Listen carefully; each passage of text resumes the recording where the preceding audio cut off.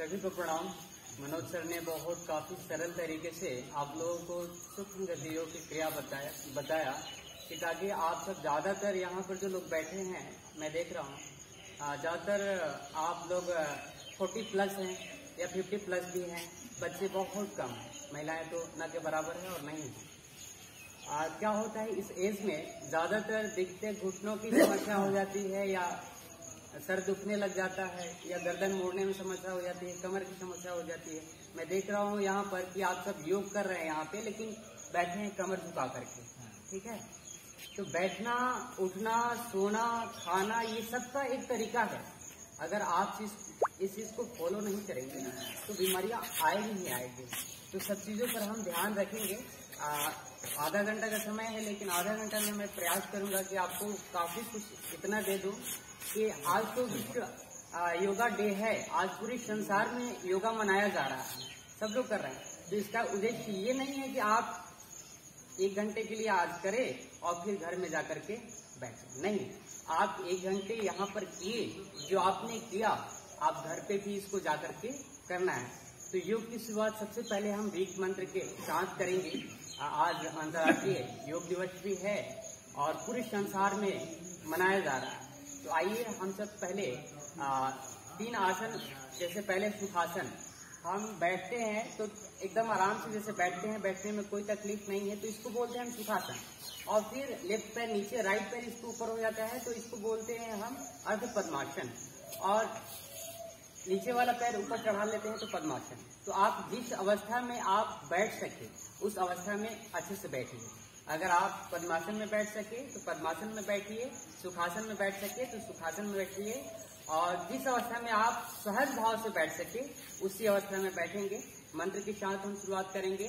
ऋग्वेद ऋग्वेद का मंत्र बोलेंगे, फिर गायत्री मंत्र एक बार बोलेंगे, और फिर और दो मंत्र बोलेंगे, मंत्र दुराएँगे हमारे साथ। और फिर एक संगीत के माध्यम से हम अपने वक्तव्य को स्टार्ट करेंगे। और थोड़ी सी योग के बारे में, और फिर क्या होता है कि आजकल योग के साथ कहते हैं ना कि अगर आग जल रही है, उसमें थोड़ा सा घी डाल दें तो और आग बढ़ जाता है। तो हो सकता है कि आप सब जिस एज में हैं घुटने दर्द के लिए, घुटने दर्द को कितने लोगों की समस्या है? घुटने दर्द से? कमर दर्द? यानी कुछ ना कुछ है शरीर में प्रॉब्लम और नहीं भी है तो भी कहते हैं, शरीर में रोग है तो आप योगा अभ्यास तो करें, लेकिन उसके साथ थोड़ा सा घी डाल दे तो बहुत जल्दी काम करता है। तो मैं कुछ चिकित्सा पद्धति आपको सरल तरीके से बताऊँगा। आप उसका इस्तेमाल करके कुछ ही दिनों में उसका रिज़ल्ट पा सकते हैं। और काफ़ी दिन हो गए मेरे को लगभग, मैं देश संस्कृति विश्वविद्यालय से पढ़ाई किया, उसके बाद डेढ़ साल तक समाज में सेवा दिया, फिर अभी चार साल से मैं दिल्ली में रहता हूँ। तो आपको कुछ ऐसी चीज़ें बता करके जाऊँगा ताकि आप पूरे हेल्दी रह सके, अपने आप को भी रह सके, अपने परिवार को भी रह सके। तो सभी लोग नमस्कार का मुद्रा बनाइए। हाथ जोड़िए सभी लोग। और अपने कमर को झुका करके नहीं टाइट करके बैठेंगे। अगर टाइट करके नहीं बैठेंगे, झुका करके बैठेंगे तो आपकी जो कमर है ना, इसमें दर्द आ जाएगी। अभी नहीं है तो कल को आ सकती है। तो इसलिए आप जब भी बैठे तो कमर सीधा करके बैठे, पूरा। स्पाइन को सीधा करके बैठे। और ये नहीं है कि आप ऐसे बैठे हैं तो ऐसे बैठे हैं, पूरा कभी कभी थोड़ा सा रिलैक्स भी हो जाइए, ताकि बॉडी आपकी बैलेंस रहे। तो सभी लोग ऐसे नमस्कार का मुद्रा बनाइए। अपनी आँखें बंद कीजिए, सद भाव से आँखें बंद। मेरे साथ ओम की ध्वनि थ्री टाइम्स तीन बार ओम की ध्वनि करेंगे। ओ।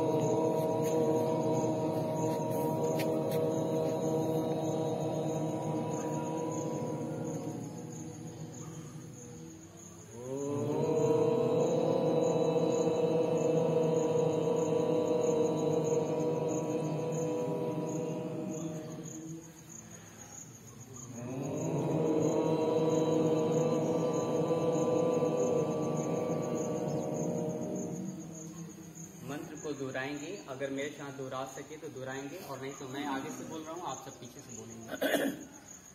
संगठम संबदध्वम संगठध्वम संबदध्वम शम्भो मनसि जानता शम्भो मनस्य जानताम्।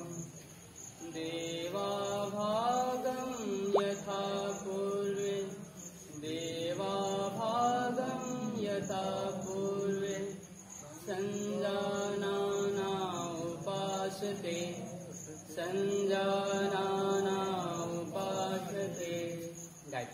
गायत्री मंत्र एक बार दोहराएँगे सभी लोग एक तत्सवितुर्वरेण्यं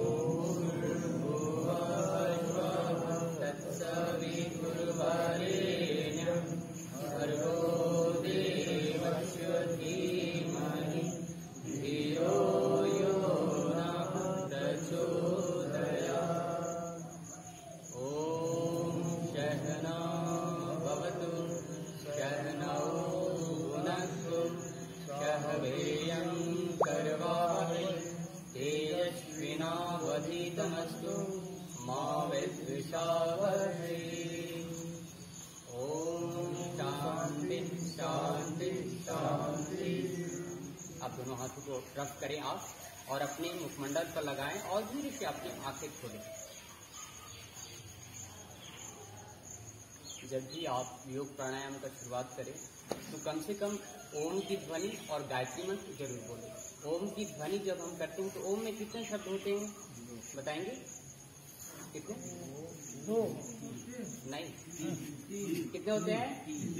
तीन। कौन कौन सा? नहीं नहीं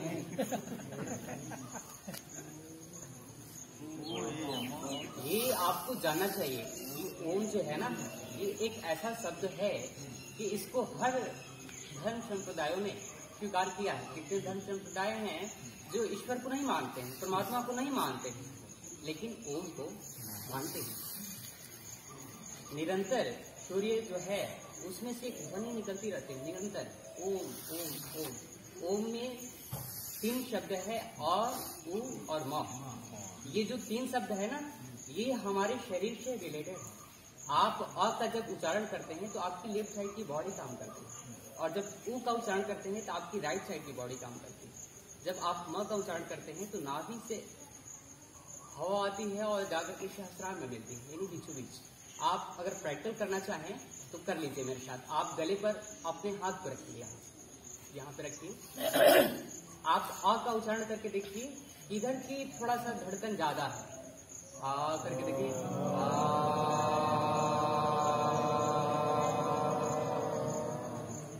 आप देखेंगे लेफ़्ट साइड का कर रहा है ना? उसमें कंपन हो रही है वाइब्रेशन हो रही है। अब उनका उच्चारण कीजिए लंबा।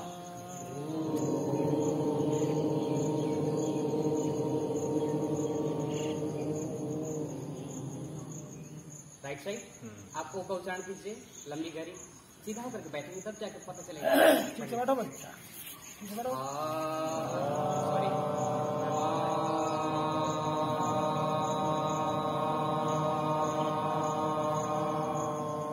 बीस निकल रही है ना? तो भैया सर ने बताया एड़ा पिघला और सुसुगना सूर्य और चंद्र। बताया ना? सूर्य का मतलब गर्म और चंद्र का मतलब ठंडा। तो आप ओम की ध्वनि का उच्चारण करते हैं तो आपकी एड़ा पिघला नाड़ी और सुषुम्ना, ये शुद्ध होते हैं। भैया ने बताया कि लगभग शरीर में बहत्तर हज़ार नाड़ियाँ होती हैं। जब आप ओम का उच्चारण करते हैं और नाड़ी शोधन या अनुलोम विलोम प्राणायाम करते हैं तो आपकी सारी नटी नाड़ियों के जो ब्लॉकेज हैं, वो दूर होते हैं और शरीर आपका तो ठीक रहता है, मन भी ठीक रहता है। केवल शरीर का ठीक होना ये हेल्थ नहीं है। शरीर अगर आपका ठीक है तो ये नहीं है। इसके साथ आपका मन ठीक होना चाहिए। आप जिस परिवेश में रहते हैं, वहाँ पर भी आपका व्यवहार, चिंतन अच्छा होना चाहिए और फिर अध्यात्म। इसमें भी आपका लगाव होना चाहिए।